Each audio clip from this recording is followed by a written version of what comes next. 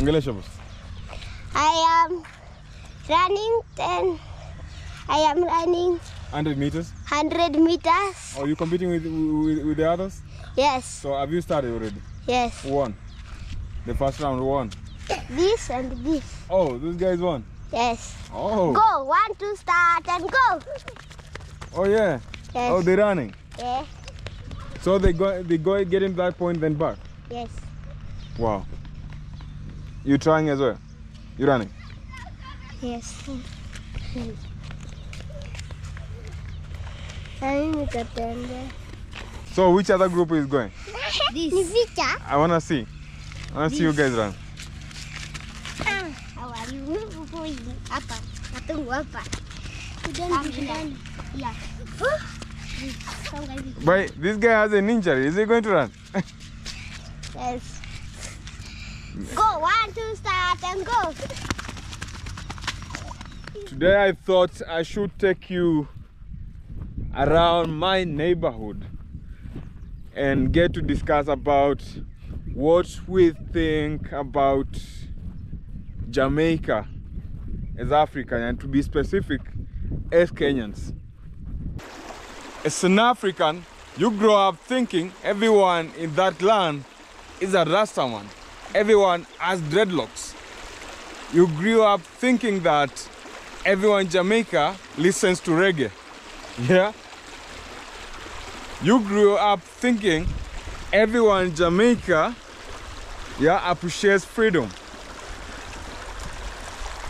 You know, anytime Bob Marley singing about freedom, we connect freedom with Jamaica. Yeah? So anytime we fighting for freedom, anytime we pray, we protesting, especially when we fight in the government, we always listen to reggae. You know? Anytime you are around uh, Kenya, you will, you will notice that we have some ghettos, some hood by the name Jamaica. And the people living in such hood, such ghettos, such neighborhoods, they are fond of dressing in Rasta colors.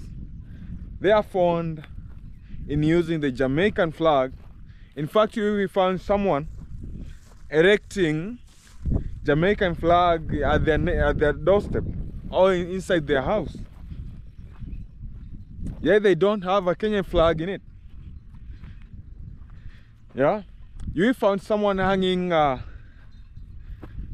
the portrait of the Jamaican Jamaican president in their house or in their shops, in their establishments. Yet they don't have the portrait of the Kenyan uh, president. Yeah. When you get to such neighborhoods, people love reggae so much. In fact, I grew up uh, hearing people sing about Trinidad. You know, we have some uh, Jamaican uh, artists who are fond of who are fond back then. They were fond of singing about the Jamaican, uh, the Trinidad Carnival.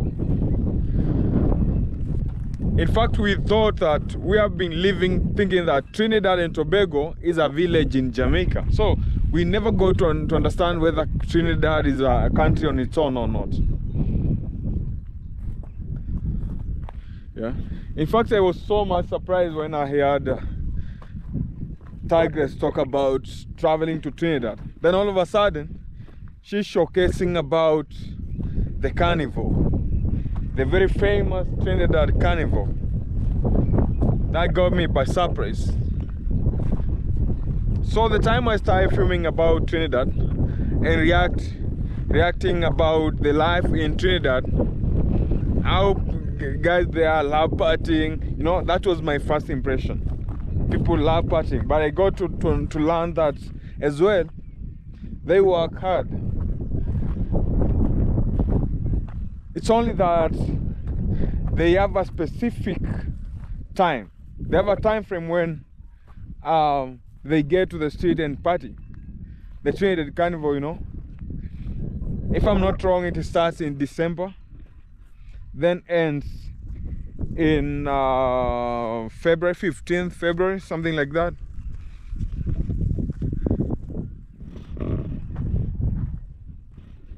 Look at this place. Wow.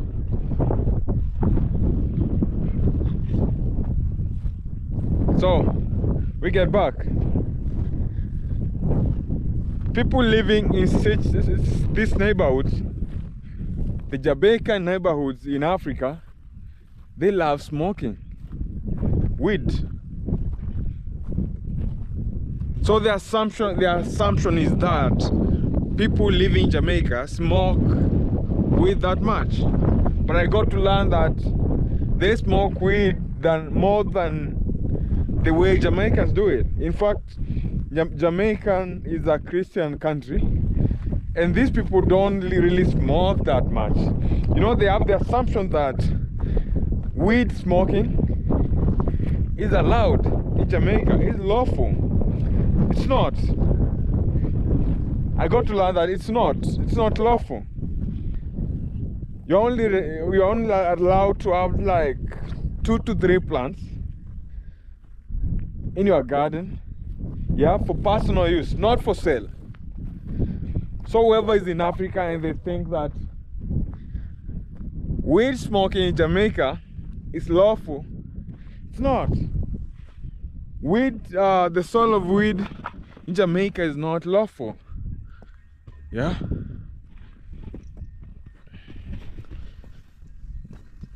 Look at this place. So the plan is to take you around this neighborhood as we discuss about Jamaica.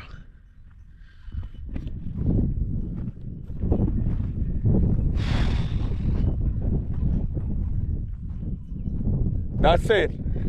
I once did a video about showcasing the neighborhood, the Jamaican slum in Nairobi, Kenya. Jamaicans on my neck. They never wanted to be associated with uh, a ghetto. Does it mean we don't have a ghetto in Jamaica? In fact, since I did that video, I never wanted to repeat it. I never wanted to discuss more about it. I never did, I never even uploaded the second episode. Why? Jamaicans wanted nothing about me. They never wanted to be associated with this ghetto. But what they didn't they need to understand is that I was doing this for the love of Jamaica. I was doing that to show the similarity between Kenya and Jamaica, to show how people in Kenya appreciate Jamaica. So if you, guys allow me, I will still go to the street. I will still go to that ghetto and uh, do more videos about it. In fact, the residents of that ghetto are still waiting for me. I took their contacts and they have been waiting for me since then. So here's someone uh, burning charcoal. They're cutting down trees to burn charcoals. Oh.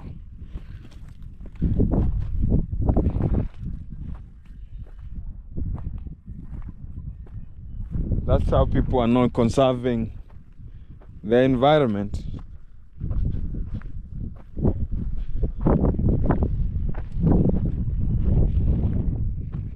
You guys need to conserve the environment.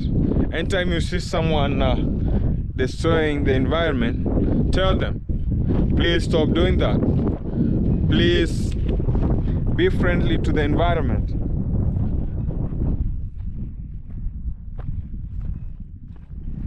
And the plan is to visit the Caribbean one day. Probably by next year, I might, mark my word, I might visit the Caribbean. Either Jamaica, Trinidad, or the Bahamas. They are visa free, so visiting is easy.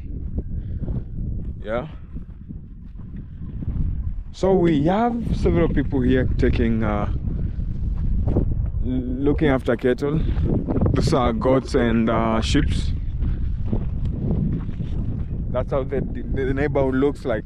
So where I am, this is a Rift Valley. Yeah, it's a depression. So that's an escarpment. You see the escarpment going round. Yeah, yeah. So we start starting with this side. That's the sides of Narok. On this side, we have Naivasha, Mai Mahiu, then Ngong. Ngong is next to Nairobi, the capital city of Kenya. Meanwhile, I started before introducing myself. My name is Go See Africa. I'm a traveler and a YouTuber based in Nairobi, Kenya. Listen, those beautiful sounds by the birds. So that's the fun side of being at this side. The good, the good, the good thing with being here, there is no pollution, either air pollution, sound, yeah. No sewer lines here. In, in fact, people here don't understand what a sewer line is. No factories as, as well. Factories, factories. How do you call it? Factories, yeah. So I'm just talking, taking a random walk. It's in the evening. And I wanted to flex a bit. Just walk. So I, I, I presume this path is there to is leading to someone's house. So I don't need to go uh, past where those goats are. Just taking a random walk.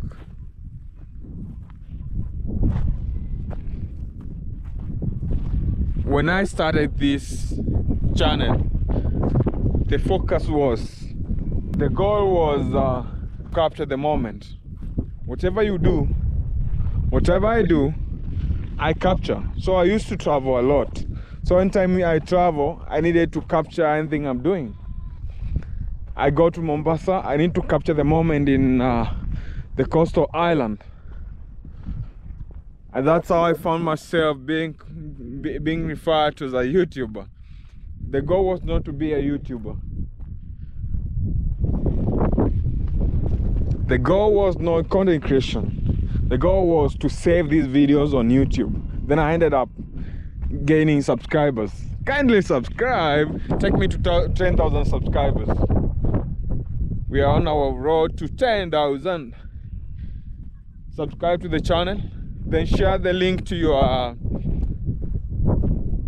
neighborhood, to your community. Let everyone subscribe to this channel. Take me to 10,000.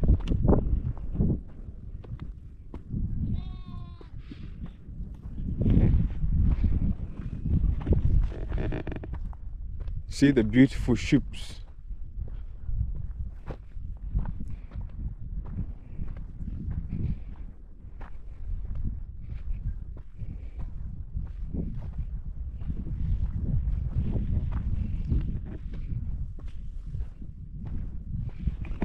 Muogo waja ng'ombe, sijauramba mwiko, usitukane wakunga na uzazi ungalipo. So it's almost sunset. The sun is going down. I'm, I'm unable to face the camera direct, yeah, due to the sun, the sun rays.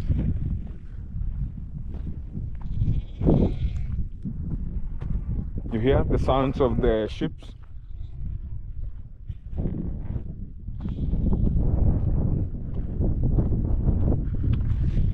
So just flexing, walking around. Even I've never been to this point before. And I thought, why not?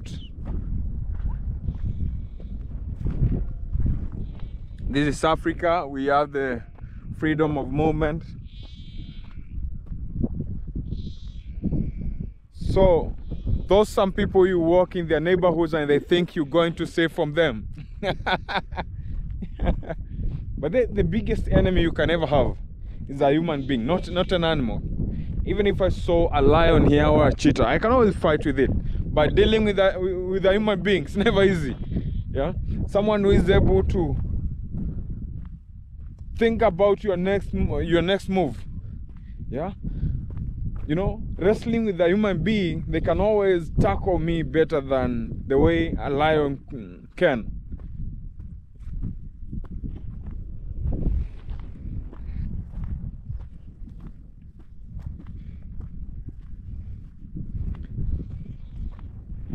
I was taking talking to a lady friend. Then she was like, "Oh, I was fighting some guy. Then I knew this guy um, can never win over me, cause I cannot. I can always use any weapon around me. I can use biros. A biro can be a good weapon. I can remove his eyes. Oh, that's a lady. yeah, I know she's going to watch this video. Then my friend was like, You scaring me. yeah, Black Geo was like, You scaring me. but they subscribe to the Black Geo. Hmm? Shabi from the Black Geo was scared. I was like, Oh, she's fighting, man. How can you dare fight a man? A man is energetic, you have the muscles, probably the techniques of fighting. Let his own fight.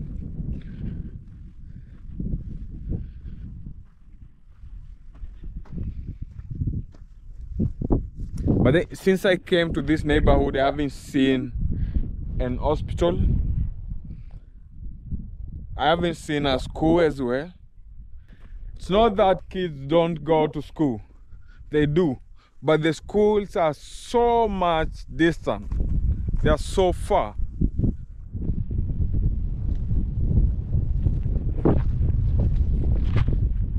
And you know, the risk of going to a very distant school,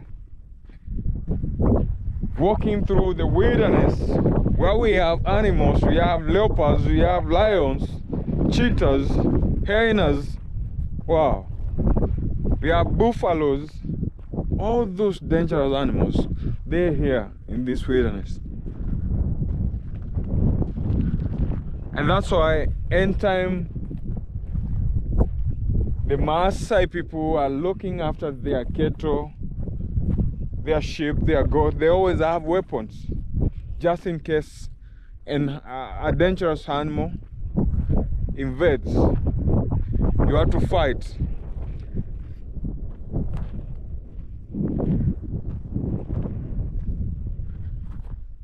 The worst scenario is losing an animal. Yeah, losing your animal.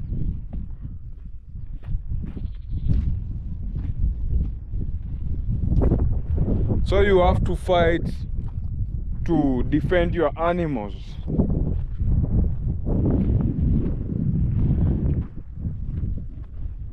When I was growing up, I was looking after large herds of cattle and sheep, just like the Maasai people. So I used to take them to the jungle, to the hills. Yeah. And you know, at the hills, you, you have the risk of being attacked by the monkeys. You have the big monkey, the baboons. So you need to fight them always. Make sure you have the the, the, arrows. Yeah, you have uh, a sword as well. Then what else? Yeah, all kinds of weapons. Wow. In my community, we were not exposed to using use of guns, so I never used to have guns. I only came to learn how to use them later, but not to attack people.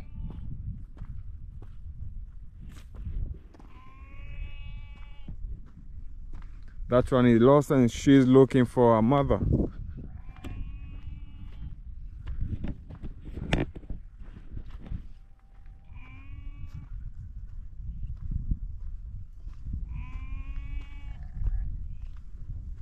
Ah.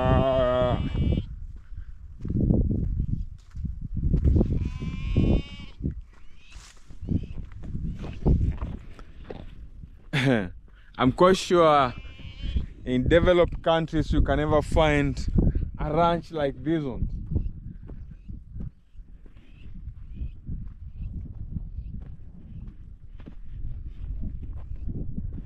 Every everywhere, every place has been turned to an urban center.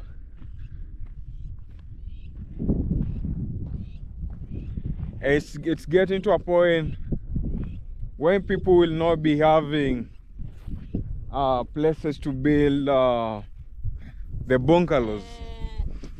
So people will be build, building apartments.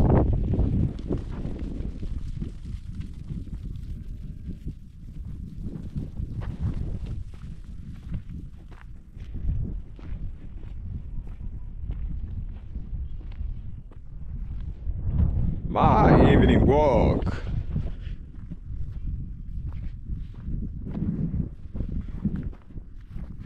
We need to listen to our Tarab a bit. Tarab. So I, I need you to have a taste of the Kenyan music. Taste of the Kenyan music, Kijiti.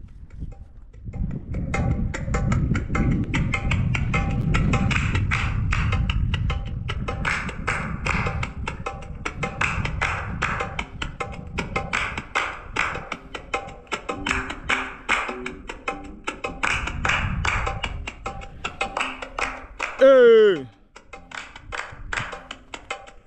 It's almost sunset.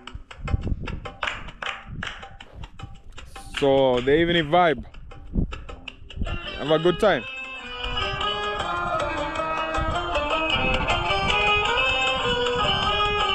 That's a song Kijiti by Bi Kidude. A lady who died uh, 10 years ago. At the age of around 100, 100 yeah. And at, by the time she was dying, she still performed, still went on a performance, a live performance, a week before her death. Very energetic lady.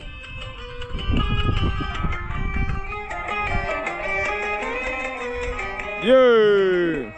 If you like it, subscribe to my channel.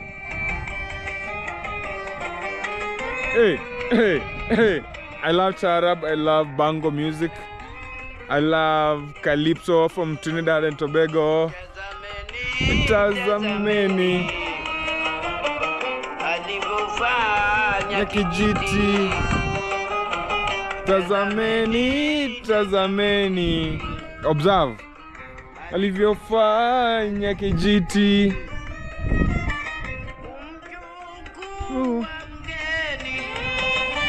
Kumchukua mgeni. Ah, kuwa mgeni kumchezesha nini?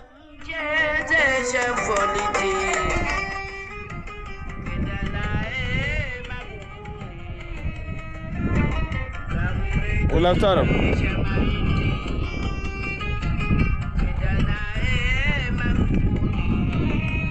Hey. Yeah. Basically, she's trying to say someone snatched their guest from them and returned them when they were already dead. yeah, yeah, yeah. So, eh, whoever understand that song, please translate for us.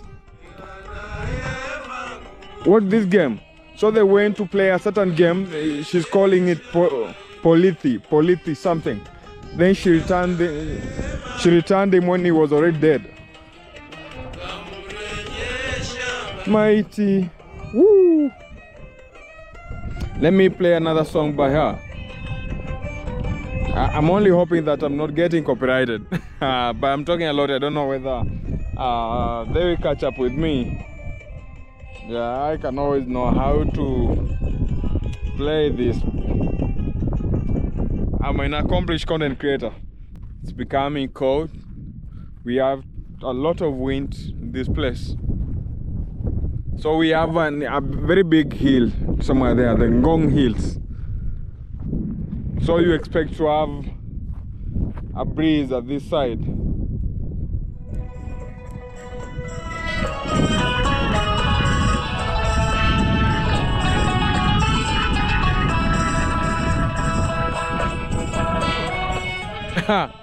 you love you love the beat. At times you listen to song and you enjoy everything about the song without even getting to hear what they're saying. Just enjoy the beat.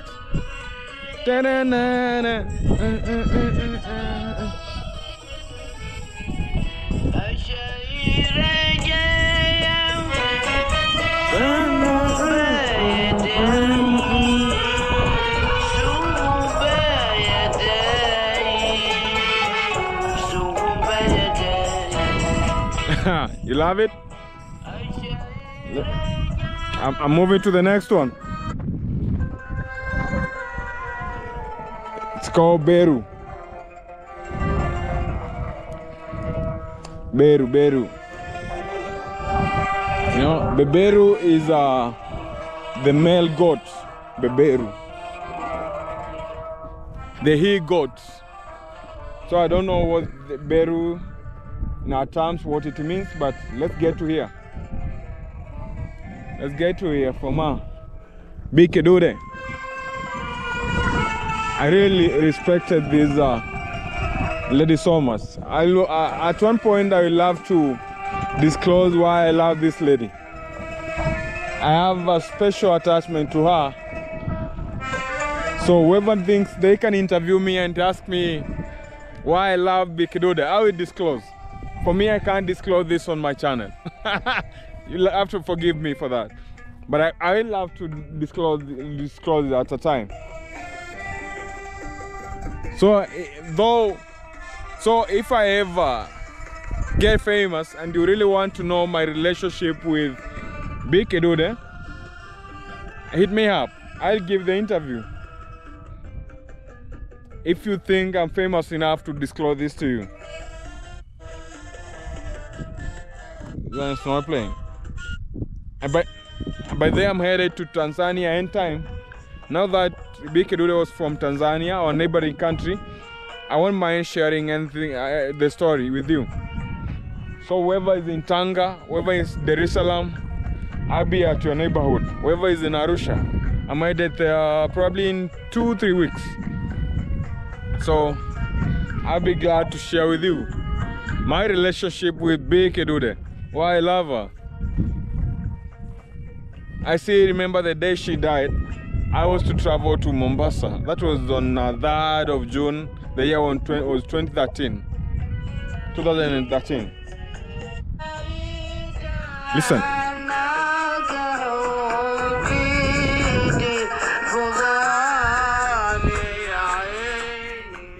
At some point, soil is deep, so I can never um, hmm, tell everything what what she's saying at some point.